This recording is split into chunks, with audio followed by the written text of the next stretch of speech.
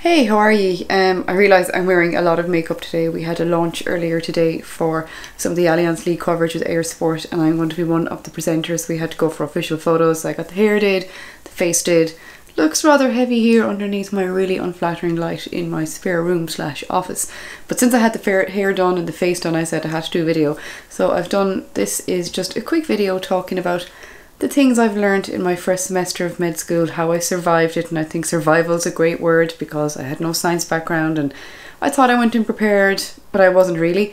And I made a lot of mistakes along the way, which cost me time, and I'm sure they cost me marks and exams as well. And uh, here are just some of the things I learned, and hopefully, you won't make the same mistakes, which will make your life easier when you go to med school.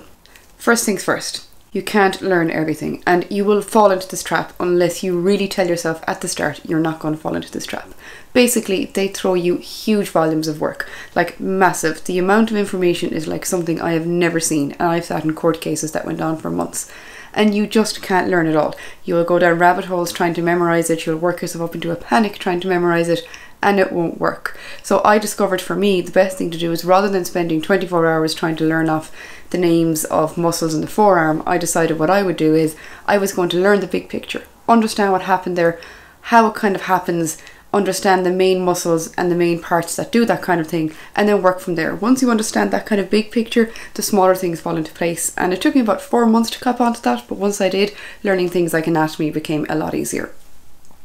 That takes me on to point number two. Medicine is a different language, like it's a whole new language. For me, because I came with no science background, everything is brand new. I couldn't pronounce the words, I couldn't spell the words, I didn't know what the words meant. I'm still learning. I'm a lot better now than I was at the start of the year. I think though that really held me back in one sense because when other people were nodding along vigorously when the teacher was saying something, I was constantly googling what that word meant, trying to figure out what it was. I was bilingual before I started studying in med school. Now I call myself trilingual, and my third language is medical Latin because it seems to me it's all Latin words for bones and body parts and illnesses that I never heard of. Now I'm getting there. I'm still not there yet, but I'm a lot better than I was.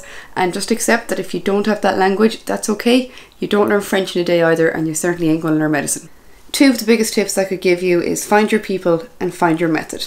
We'll go to our people first. You need to get yourself a nice group of people who will tell you when you're being an idiot, who will tell you to stop panicking, who will help you along, who you'll help along when you have skills that you can help them, who will have laughs with you, who will make sure you're not crying too hard, and who generally will make life much easier for you. It makes it easier to study for exams. People will have tips, hints, and tricks. Some people will know some things better than others, and it also they understand you're a tribe and i mentioned earlier about survival we're all on this island together and these people will help you like i discovered my own crew i mean they mightn't like it but they're stuck with me now i'm hanging around with them whether they like it or not i'm holding on to them like a limpet um we're like from people we're scattered from all over Ireland. There's people from Canada. There's a few people from the United States in our group, and we really get on. And we're all really different. And I'm sure we probably know each other at times as well. But there's a kindness there, and as well as that, we all understand what the other person is going through.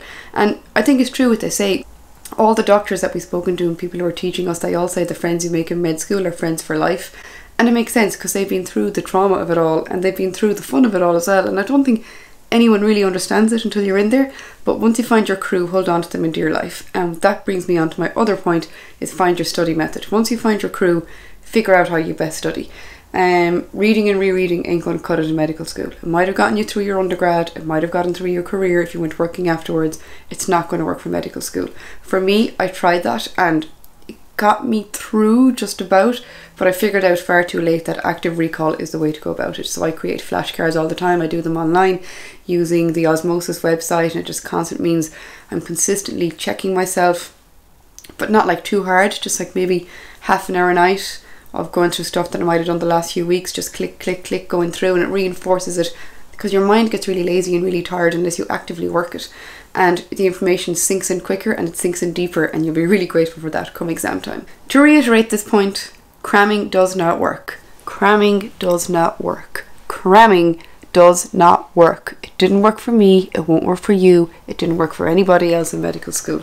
There's just far too much material. There's far too much from anatomy, clinical, physiology, pharmacology, tablets, medications, do's and don'ts, people, doctors, teachers. There's just too much. You're not going to learn, for example, the brachial plexus, the liver, the GI tract and some pharmacology in time for a test on Monday morning if you start on Friday night. It's just not going to happen. You're going to fail before you even get to your exams. You're not even going to make it to your second semester. Don't do it. Don't do it.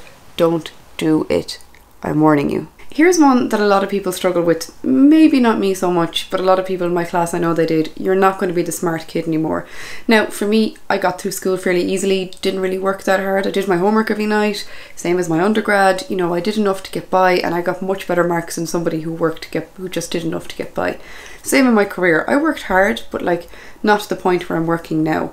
Um, so you just have to put the notions that you were once the smart kid in the class throw that out the window. Unless you're in the very small minority, you're going to be struggling in a class full of people who all got A's in their leaving certs and B's and did really well in their undergrads with very little work. Um, and that can be hard on the ego. And that's where you have to learn to like bite the bullet, swallow your pride, ask questions, find people to help you. You're not going to know everything. And you just have to accept that the only person you're in competition with is yourself. So set out your own little mental chart, know where you're starting, know where you want to end. Don't let anything else deflect from that. Don't let the smart kids put you off. Don't feel ashamed. You'll probably fail a few. It'd be very rare to go through medical school without failing something, and that's okay, so long as you learn from it and remember you're in competition with nobody else but yourself. Now, this one is an important one, and that's schedule some fun. I found myself since I went to med school, since say since August, I didn't have any fun. I used to find myself saying, I'll do that after I study, I'll do when I finish studying this chapter, I'll do it once I know this. And then by Christmas, I kind of realised that I hadn't done any exercise, hadn't gone to any workout classes. I'm a Pilates instructor qualified. I didn't go to any Pilates classes or do any practice here that I normally would do at least five days a week. And my body was paying for it, and so was my mind. In fact, when you take into account everything I know about sport and exercise psychology, um, it's ridiculous that I let myself get this way because of studying and trying to focus on that. In fact, if I was your doctor and you came into me with any kind of illness, if you're in any way able bodied and mobile, I'd tell you go outside, get some fresh air, do some exercise. It's essential for your physical and mental health. The same is true for any doctor, the same is true for anyone doing anything hard in life or easy in life you need to have that balance. So now it's I realize now it's as important to me as scheduling my study and scheduling my work. I need to schedule in some fun as well. So now I make sure at least three times a week I block off an hour just to go for a walk, go for a quick jog around the place. It ain't to be fast, but at least it's getting me out of here and it makes you more productive as well. And I don't know why we do this to ourselves. Look after your mental health, get some exercise outside, and you'll be more productive and you'll work harder in a shorter space of time. So just do it. Your body will thank you for it, your waistline will get a bit tighter, and your mind will work a bit harder too. What's not to love? And finally, I know I've only done a few months, but you get to see the coolest and the most amazing stuff, and it really just reinforces that I'm doing the right thing. In the space of a few months, I've done dissections, I've learned things about the body, I've heard body held body parts in my hands, I've learned pharmacology, physiology, I've learned how to do physical exams, I've spoken to doctors, I've seen and heard about amazing cases, I'll be meeting patients soon, and that's just a few months, and it just kind of reinforces that in a few years' time, kind of terrifyingly, that people out there will be trusting me with their lives.